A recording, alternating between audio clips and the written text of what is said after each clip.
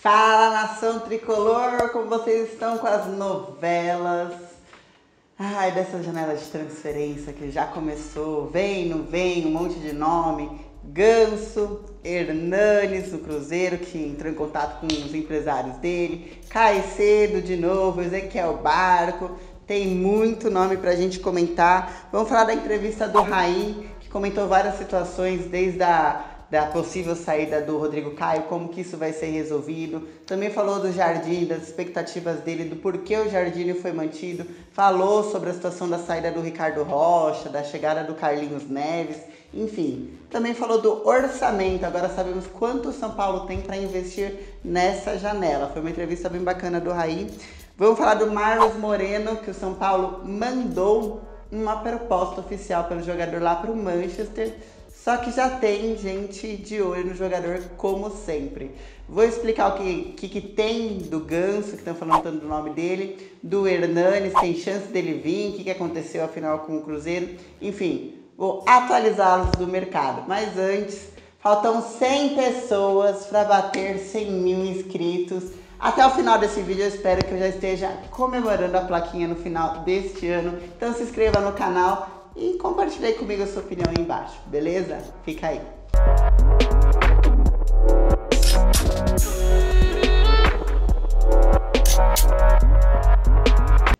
Flamengo já passou por eleições presidenciais, a oposição virou situação, a situação virou oposição, então tudo lá está mudando. O São Paulo estava ali de olho em dois nomes, né? Aliás, tem três mais ou menos negociações em andamento, isso porque o Flamengo tá, estaria interessado no Rodrigo Caio, estava esperando essa situação para ver se vai atrás do Rodrigo Caio, o Dorival indicou o Rodrigo Caio lá. É, o São Paulo também estava de olho no William Arão e no Marlos Moreno. Só que a situação do Marlos Moreno é diferente, porque o Flamengo falou, ó, não vamos renovar com você empréstimo, não tem mais conversa. Foi um ano aí que ele teve lá uma passagem apagada, oscilou bastante, o Flamengo decidiu não renovar. Então o contrato dele até 2021 é com o Manchester City. E o São Paulo foi lá e enviou uma proposta direto para o Manchester com muito cuidado e com muita pressa, porque o Palmeiras já está atravessando a negociação a pedido de Felipão. Mesmo que não tivesse pedido do Felipão, o Palmeiras ia atravessar, porque a janela de transferências agora é assim. Você gosta de um jogador, o Palmeiras atravessa, faz leilão, infla os preços ou contrata só para você não contratar. Agora é assim que está a janela. Enfim, o São Paulo mandou uma proposta de empréstimo de um ano pelo jogador. Eu já tinha falado no último vídeo que ele ganha na faixa de uns 200 mil por mês. Tá, ok. Ele tem preferência para ficar aqui no Brasil, embora ele ache que os empresários dele acham que ele tem mercado na Europa e que deve chegar alguma proposta para ele. Apesar do ano apagado dele, oscilou bastante no Flamengo, né? Mas ele te, dá preferência para ficar aqui no Brasil porque a família dele já gostou, já tá morando aqui, é mais fácil, enfim, até se mudar e tudo mais, aquele contratempo. Ele teve dificuldades nesse um ano de trazer a família para cá. A filha dele nasceu lá, ele teve que teve alguns problemas no Flamengo, inclusive, para conseguir trazer a família. Aí agora que ele conseguiu trazer, ele prefere manter. E é isso, o Palmeiras já fez uma, já está elaborando uma proposta, não fez ainda, mas já anunciou que irá fazer uma proposta também de empréstimo de um ano. E eles têm bom relacionamento pela, contra, pela contratação, não, pela negociação pelo Gabriel Jesus com o Manchester. E vai fazer também a proposta de um ano de empréstimo.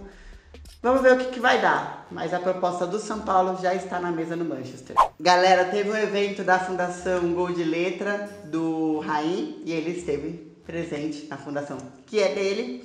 E aí o pessoal comentou que foi cobrir, aproveitou para perguntar de janela, obviamente, que, né, ah, estamos aqui, legal o seu evento, mas vamos falar de janela.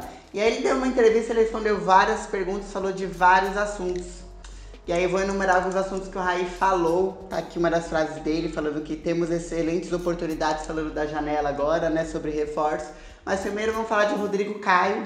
Perguntaram o que, que ele achou das das declarações e qual era o futuro do Rodrigo Caio. A diretoria tratou as declarações do Rodrigo Caio como normais, foi um desabafo do jogador, algo que ele falou porque ele estava sentindo, mas entende que o momento agora para ele é complicado.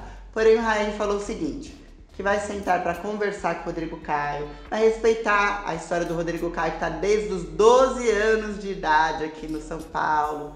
É, falou que o Rodrigo Caio é um jogador nível seleção, teve ótimos momentos aqui no São Paulo, tem muita história aqui. Não é um jogador que você simplesmente descarta, que ele tem que sentar, conversar sem nenhuma perturbação de fora para conseguir resolver na calma e respeito até a história do Rodrigo Caio. Muito bacana essa postura do Raí. O Raí comentou que Rodrigo Caio, Sidão Edmar são jogadores que ele não vai forçar a saída, mas também se chegar a proposta devem ir embora. Também falou sobre o Ricardo Rocha. A primeira postura da diretoria era que viria alguém para substituir o, Rodrigo, o Ricardo Rocha. Agora eles já chegaram a outro consenso em uma nova reunião de que o Carlinhos Neves vai assumir essa função no Ricardo Rocha.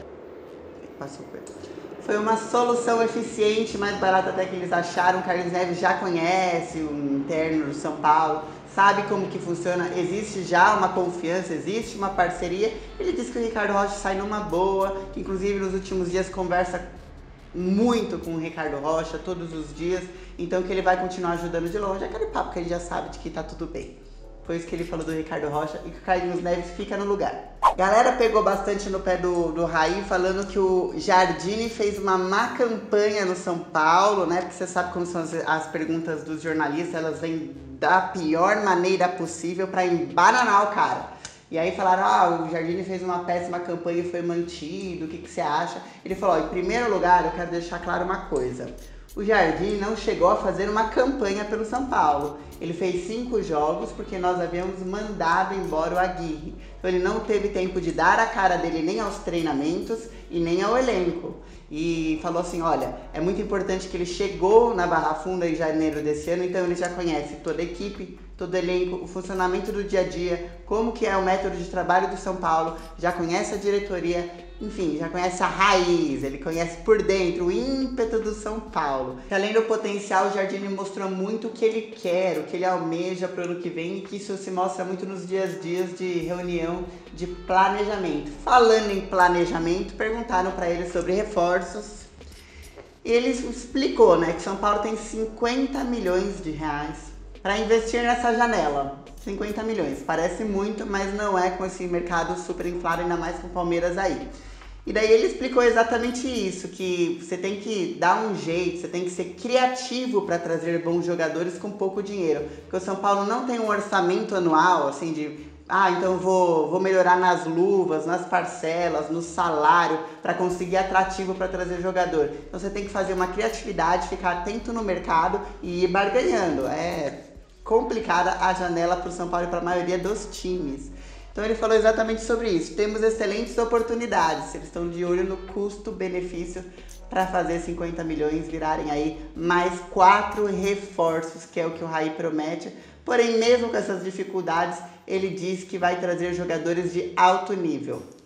Vamos descobrir o que será o alto nível da diretoria do São Paulo. Medo, mas vamos torcer que seja altíssimo nível, né? Perguntaram pro Raí, que agora ele completou um ano frente à diretoria, faz exatamente um ano, dezembro do ano passado, o Vinícius Pinotti estava deixando São Paulo depois de dois anos de passagem aqui, quase três, e o Raí estava assumindo a diretoria em janeiro, depois veio o Lugano, Ricardo Rocha, enfim. E ele falou, olha, eu sinto que evoluímos nesse um ano, evoluímos de Z4 para campeão no primeiro turno, ele acaba frustrado, sente que quer mais, poderia ter sido melhor, mas ele fala que sobre ser campeão, para um time ser campeão, ele tem que aumentar cada ano a probabilidade de ser campeão, porque você nunca tem a certeza de que será campeão. Ele acredita que em 2019 a probabilidade de São Paulo será cada vez mais alta, será muito maior do que em relação a 2018, que 2018 já foi maior do que em relação a 2017, bota probabilidade maior em relação a esses dois anos. E daí ele fala que não tem como prometer um título, mas que ele promete que vai melhorar as probabilidades do São Paulo. O Rai também comentou de um jogador que eu já vou dar a notícia e falar o que o Rai comentou, que é o Caicedo. Já falamos dele aqui no programa, pessoal perguntando dele de novo, porque é, tem nome que é sondado, daí volta, é exatamente São Paulo se mexendo. O problema ou não problema é que cada nome que São Paulo sonda sai na mídia que foi sondado. Eu não gostaria de. É que a gente tem que dar a notícia depois que ela é veiculada. Eu não gostaria que isso acontecesse, eu prefiro quando de surpresa chega aquele cara que ninguém ficou sabendo e aí não tem leilão, né? Mas vamos lá, vamos falar do Caicedo. O Caicedo colocou nas redes sociais dele umas postagens que a imprensa lá do Equador tá achando que é como se fosse já gratidão, beleza, um adeus para a torcida, adeus para o clube. Ele que também oscilou lá com a torcida, teve bons e maus momentos nesse ano. E daí ele começou a seguir as redes sociais de São Paulo. A galera foi lá no evento Fundação Direito e perguntou: Ô oh, Raí, o Caiceiro agora tá seguindo o São Paulo, o que, que você acha disso? Ele falou: Ah, mas isso não significa que o cara veio. Pode ser que sim, pode ser que não. Ele não negou e não disse que sim. Aí ele falou, ele seguir as redes sociais não significa que tenha uma negociação super avançada, mas ele também não negou que tem uma negociação. Bacana, Raí. O Caicedo, essa informação toda do Caicedo é o segundo jornal equatoriano, tá? Primeiro foi um jornal que eu esqueci é, o nome, mas eu te chequei antes de falar o nome e não é. É o segundo jornal que coloca o Caicedo no São Paulo, lá no Equador. Esse é o Equagol, o nome do jornal falou que estão em conversas avançadas. O Caicedo, esse ano, em 44 jogos, fez 4 gols. É esse o Caicedo. E está em conversa com São Paulo. Vamos descobrir aí no decorrer da semana se realmente tem ou não a ver ele começar a seguir as nossas redes e essas postagens que ele está fazendo, se realmente é uma despedida. Galera, vou falar de Hernanes. Hernanes, toda vez que vem aquele nome, será que volta o profeta? Será que não volta? Eu adoro falar do nome dele, mas vamos lá. A situação do Hernanes na China ainda é a mesma. Tem contrato, tem mais um aninho e meio de contrato, é, não tá livre para assinar, salário continua alto, enfim. Mas o Cruzeiro tá recebendo proposta aí pelo Thiago Neves e aí tá provavelmente vai sobrar um dinheiro aí. E eles acham que o Hernandes tem todas as características para substituir o Thiago Neves de maneira igual ou até melhor. Que até hoje, esse ano, acho que não foi o ano do Thiago Neves, mas ok. E aí eles entraram em contato com os empresários do Hernandes para fazer uma proposta. E eles usaram como base o salário que o São Paulo pagou para o Hernandes em 2017. Que não foi total, né? A gente pagou só uma parte do salário do Hernandes, o resto ficou lá pro, pro eBay. E aí eles fizeram uma proposta de salário maior do que aquela, do que aquela e foram saber de, enfim, sondar a situação contratual, se dava para vir, enfim. Só que aí eles ouviram do empresário que nem vai ter negociação, nem vai começar a conversa, porque se um dia conseguir voltar para o Brasil, se conseguir ter uma conversa sobre empréstimo para vir para cá, o Hernandes só quer vir para o São Paulo, a preferência é para cá. A não ser que o São Paulo falasse não quero, aí o Hernandes quisesse muito voltar para Brasil, ele pensaria em ir para outro time. Essa é a notícia. Cuidado com o que sai por aí de ah, o profeta está voltando, não sei o quê. A notícia é essa: o Cruzeiro entrou em, em, em contato, não deu, o resto continua tudo igual. Pode ser que sim, pode ser que não, nada é impossível, mas as chances não são altas, beleza? Outro jogador sondado pela diretoria saiu lá fora primeiro, depois ele saiu aqui na, na imprensa brasileira, é o Ezequiel Barco. Ele que foi destaque na final da Sul-Americana pelo Independente e agora ele tá jogando lá nos Estados Unidos e desde julho ele está afastado lá. Uma história aí que ninguém sabe direito dizer o porquê. Por ato de indisciplina, há seis meses ele não joga, o status dele atual é fora do elenco. Pois é, seis meses, desde julho. E aí nessa situação toda, ele quer uma, uma promessa, 19 anos, era para estar tá deslanchando, o pessoal começa a querer sondar e saber qual é que é. Enfim, ele foi vendido por 12 milhões de euros em janeiro desse ano. E ele tem contrato até 2021. Então ele não está livre de contrato. Tem que entrar em contato. Quando o São Paulo liga para sondar é para saber mesmo. E aí? O cara tá afastado, mas tem interesse de empréstimo, tem interesse em vender, a multa tá quanto? Comprou por X, vai por quanto? Enfim. Foi sondado, não significa que está vindo. Agora resta saber se São Paulo ouviu coisas boas ou não do outro lado da linha e se vai querer fazer proposta. Mas é um jogador que foi sondado. Vou pedir para colocar o vídeo dele e do Caicedo aqui embaixo, se vocês quiserem ver. Do Caicedo já rolou na semana passada, mas a gente coloca de novo. Gente, agora finalizar falando do Ganso. Ganso que tava lá no Primeiro ele foi pro Sevilha, teve aquele monte de problema, vai voltar, não vai voltar, toda a janela, enfim, dezembro do ano passado, é, julho desse ano, toda vez a mesma coisa. É, agora parece, informações do Jorge Nicola, de que ele pode voltar para o Brasil nessa janela sim. A motivação dele estar rescindindo o empréstimo dele com o Amens é exatamente o São Paulo, informações do Jorge Nicola, quem tem muito apreço. O Ganso ficou esses últimos dois anos relutando com a ideia de entre a janela sair da janela, poder voltar para o Brasil. Ele queria se firmar lá na Europa, ficar de vez. Também levou a família para lá, já estava tudo certinho, ele não queria sair de lá. Aí desde aqueles problemas que deram em janeiro desse ano, o Sevilha começou a tentar forçar, ó, abrir mão da multa, que a gente faz o distrato, o Pedro falou, não vou abrir mão da multa, a gente tem que entrar num acordo, não entraram em acordo, fez o empréstimo pro Amens da, da França, jogou pouquíssimo, foi seis vezes titular, saiu do banco oito vezes, não tá, lá na, quando ele chegou na Amens, o, pre, o presidente de lá chegou a falar que ele era o maior reforço da história do clube. Aí pensava que ele ia, tipo, arrasar. Enfim, não é isso que tá acontecendo, tá oscilando lá também, não tá sendo titular. Complicado, hein, Gans? Complicado. Olha o status que o cara conseguiu. E aí o empresário deles já está tratando a rescisão do empréstimo. Pode ser que ele pinte no São Paulo. Ele confirmou, ele, Ganso, confirmou que em julho desse ano o São Paulo entrou em contato tentando trazer na metade desse ano para compor elenco. E aí não deu rolo, ele foi tentar jogar lá na França tá voltando e aí tem chance de vir para São Paulo. Santos e Grêmio também tinham entrado em, em contato na última janela. Vamos ver se nessa eles vão inflacionar o mercado, o que, que vai acontecer, né? Tomara que não venha um Palmeiras inflacionar, porque eu não confio muito no Ganso. Mas beleza, essa é a informação. Tem enquete aí embaixo que eu vou pedir para deixarem. Você seria a favor do Ganso de volta? O que, que você achou da primeira passagem dele? Tem espaço para ele aqui?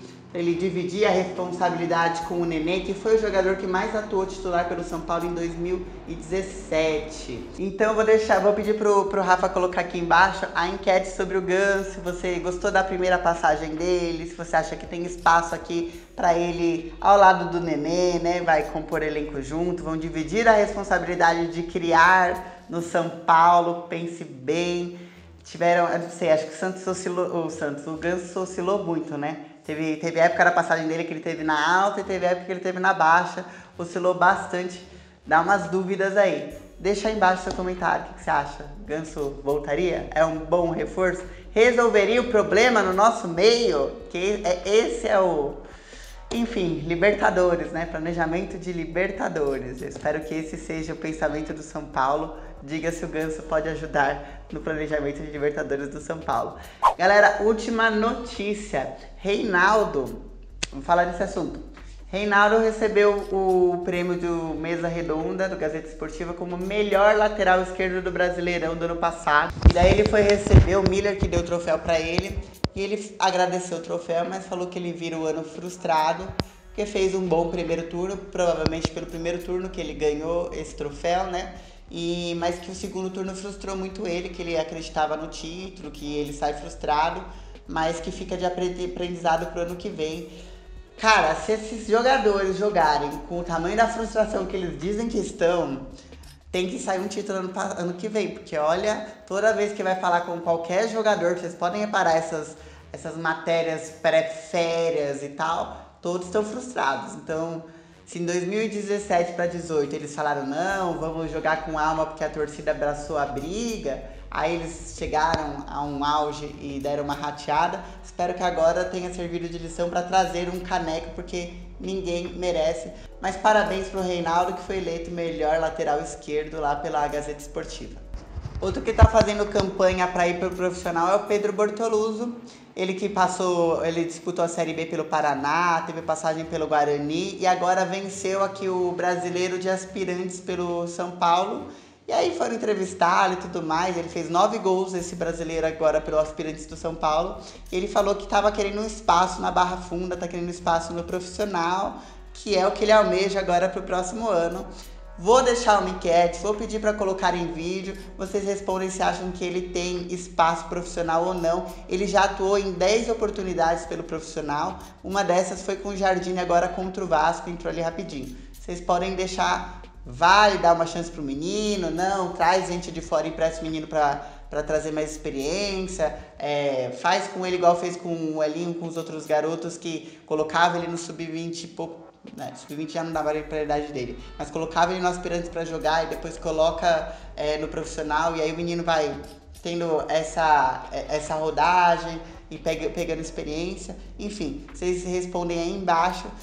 Hoje é segunda-feira, o último vídeo subiu na sexta. Acredito que entre quarta e quinta já tem outro vídeo atualizando vocês de mercado e vendo o que que anda, porque principalmente ali no, no Flamengo, do Ilharão, o que que vai andar de novidade nesse lado aí. Hoje é segunda-feira, tá começando a coisa a pegar, beleza?